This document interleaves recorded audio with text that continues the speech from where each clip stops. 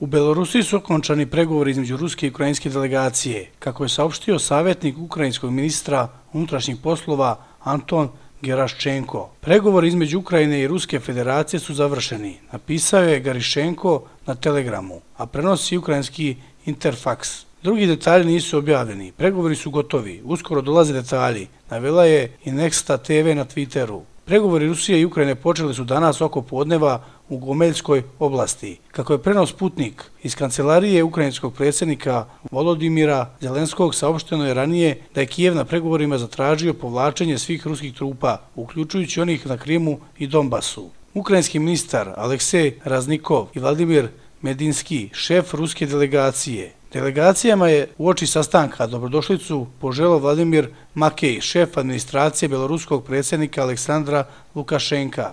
Dragi prijatelji, predsjednik Belorusije me zamolio da vam poželim dobrodošlicu i obezbedim vaše i obezbedim vam sve što treba za vaš rad kao što je dogovoreno za predsjednicima Zelenskim i Putinom. Možete da se osjećate potpuno bezbedno. To je naša sveta dužnost, rekao je Makej, prenosi Ukrajinska pravda. Predsjednik Lukašenko se iskreno nada da će tokom današnjih pregovora biti moguće pronaći rešenje na sva pitanja ove krize.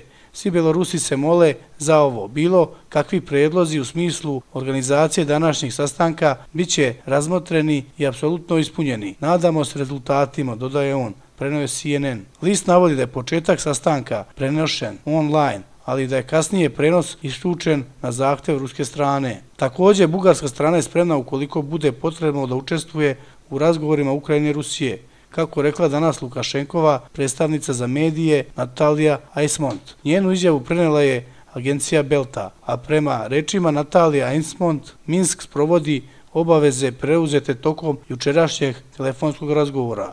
Lukašenka sa Putinom i Zelenskim prenosi taš. Ukrajina zahteva trenutni prekid vatre i povlačenje ruskih trupa javlja novinar AFP-a. Kako navodi CNN, u ukrajinskoj delegaciji nalaze se nekoliko visoko rangiranih zvaničnika, ali ne i predsjednik Voldimir Zelenski.